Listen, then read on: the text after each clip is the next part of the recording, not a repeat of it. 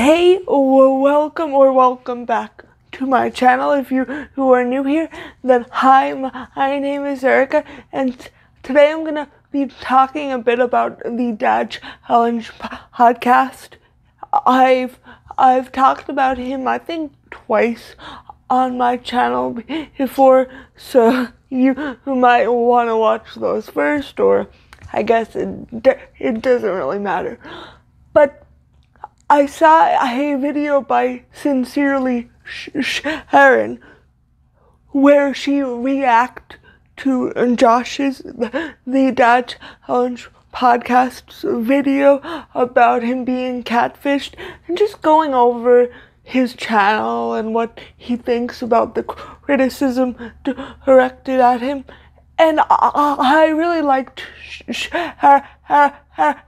video but I'm not going to react to his video. That's just not what I am in the mood. And also, Sharon already did that, so that's already been done. But I do have a lot of thoughts on his video. So if you'd like to see that, then just continue watching.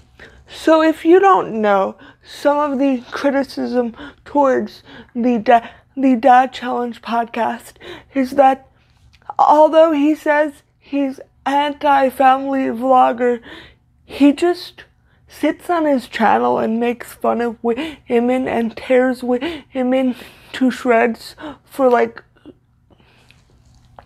for very minor things like their hair or how they talk or their weight or their body or how they decorate their house. And so Josh responded to that with his video saying, Well, actually, I do that. So I do that to help other women so that women realize that these women they're looking up to is aren't perfect and so they don't compare themselves to these women. When I heard that, I'm not gonna lie, I kind of laughed a bit because that is a laughable excuse. Women don't need a man to tear down other women to make them feel better about the, themselves. And actually, like, this is a bit more personal. Like, it's more my uh, opinion. I mean, most of my videos are my opinion, but a lot of it in this video is gonna be mostly my opinion. But, like, when, when I hear men tearing down women, even if they're saying something negative about a woman that I don't particularly particularly like.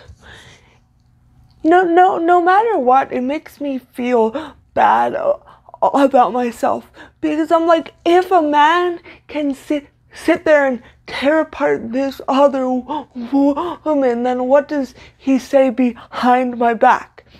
And not even that, but then, but then the second that I do something that, that, that this man does not like, he's going to tear me apart for everything, and it doesn't matter if it's unrelated. Okay? My audience on YouTube is 98% women between the ages of 22 and 44. Social media is bad for you, specifically when it comes to your self image. So, when I make fun of these people, it's not because I want to sleep with them. Okay? It's that's dumb. I absolutely. And I don't like that. I, I hate when men sit there and tear down women. I mean, I don't really like when women sit there and tear down women, but especially men, and then especially going to use, well, I'm doing it for the benefit of women. What woman asked you to do that? Because I know, I, I know for a fact I, I, didn't because I would never, like that, you tearing down these other women in no way helps me, in no way makes me feel better about myself. if anything, it makes me feel worse about myself because most of the things he tears them down for are pretty sexist and misogynistic, like, you know, like feminine traits or even like um, masculine traits. Because the thing is, is women are torn apart for everything. And if you're a woman, you probably already know that. That it, it's women are treated much differently, especially in the media. And the Dad Challenge podcast just perpetuates that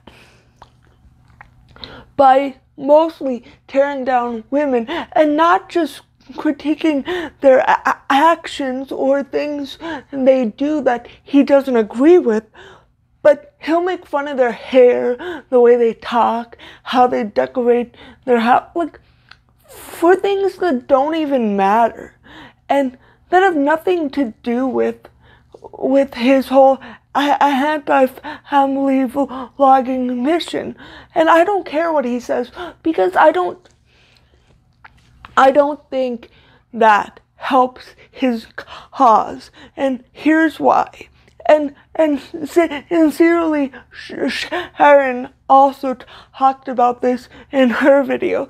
But I think the reason some family vloggers are stopping it isn't for because they realize what they've been doing is wrong and exploitative, but instead it's because they don't want to be made fun of by Josh and his fans anymore.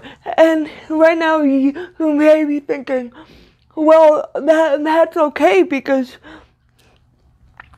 if they stop, does it really matter what the reason they're stopping is? And one point that Sharon made was that many of these family vloggers will stop for a short period of time, and then when they believe that, that the coast is clear, they will then return to their old family vlogging ways. So if you if you do not want people to be monetizing their children on the internet and you do not want them to be showing their children in their most vulnerable states in their most vulnerable state online then then you should focus on that and not focus on trivial things like like how somebody decided to cut her, her hair or how ugly her lipstick is or wow, she has way too much Botox. Because you know what? That has nothing to do with what, with the with what the woman is doing to her children. So if you want, if that's, if you're saying your goal is to shed light onto like the dangers and the negative aspects of family vlogging, then do that. Do that. But don't sit here and tear women down and then the the second you're called out on it. You just white knight for women, and then you're like, oh, I'm doing it to help their body ah, image. Well, you're not. Guess what? I've struggled with an ED throughout my life. And it never helps me when I see men tearing down other women. I'm never like, oh wow, I feel so much better about myself now. I've never said that in my life about a man tearing down women. It doesn't benefit me. And I don't think it really benefits any women. And, and of course, this is conjecture. But, but I was saying this to my mom before. It's not relevant that I was saying it to my mom, but I'm just saying I was saying it to my mom. But I, was saying to my mom, like, I think he just came up with that that just justification in the moment because it's such a ridiculous justification. He, he's probably like, oh, what can I say to make it sound better? How about I say, this is gonna help women and it makes women feel better uh, uh, about themselves. And it's like, guess what? Most women know that social media is fake and a lot of it is very contrived and and so what, what I'm trying to achieve here, and maybe this is what I should have done really early on, I'm trying to achieve something here that allows you guys to realize stop comparing yourself to these damn people. They're fake. Everything about them is fake. Every absolute little thing about them, right down to their effing eyelashes, is fake. So why do you stand these people? Why do you watch them? Why do you compare yourself to them? Everything is kind of put into place, and social media is very de- deceiving.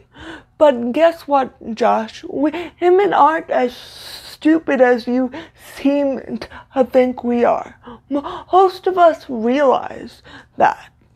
Like, I realize when I go on Instagram, I'm going to see people in poses where their body might look different from than, uh, like, them just existing in their everyday life.